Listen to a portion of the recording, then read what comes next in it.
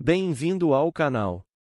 Veja a seguir duas problemas fáceis para iniciantes no xadrez para serem resolvidos em 30 segundos e em seguida veja as respostas.